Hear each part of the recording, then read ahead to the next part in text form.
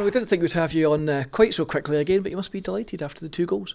Yeah, um, delighted to get on the score sheet again, um, which is a good habit to get into. Striker, uh, once you get a taste for sort of that um, goal scoring, you know, you just want to keep keep keep um, getting into the right areas, keep getting on the end of chances, and um, I'd got on the end of a few just near near sort of misses um, before my actual opportunity came about. So and the way the game was with them going a goal up, um, it was nice to, to get the equaliser and, and really get us back into the game again because Montrose started well, they got a good goal on the break and, and they're always going to sit in them once they do.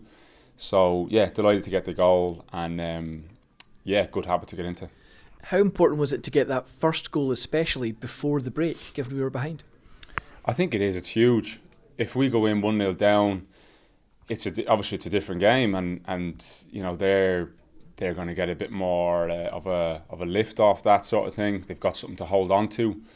Um, whereas we came in half time knowing we hadn't played as well as we can, yet we were we were level. Um, frustrated obviously with the way we performed. We were all we're all a bit disappointed in there of the manner of the performance. Just not as sharp, let's say, as as we were last week. Um, not as clinical. Uh, but ultimately, we've we've won the game, which is you know the sign of a good team um, and a good habit to get into. If you can if you can win even when you've not played to your best, um, it's it's a it's a good uh, it's a good way to be. If we get an early goal, the expectation is we're often flying. But to what extent does it send a little message that you know we can go behind and still have that mentality to come back? Yeah, that's a it was a really big test for us. That you know so different from last week if you go out and you score early, like you say, especially with the fans, the backing that we have here, that real buzz and excitement uh, builds, and the opposition probably think, "Oh, here we go," sort of thing.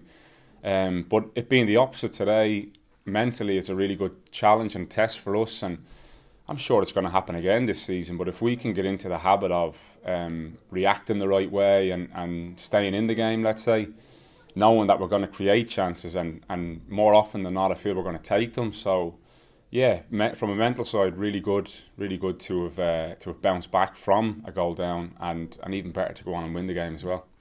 Now you've scored numerous goals throughout your career, but that second one today must be one of the more bizarre ones you've scored. Yeah, definitely the strangest one I think I've scored. You know, at times things like that happen where the keeper maybe takes a cross or something like that, and you know that he's going to try and start an attack. Mm-hmm and sometimes you just gamble and you take a bit of a chance. And I've just sort of jumped to try and put him off a little bit, or, or to stop him from from from starting an attack out to the fullback.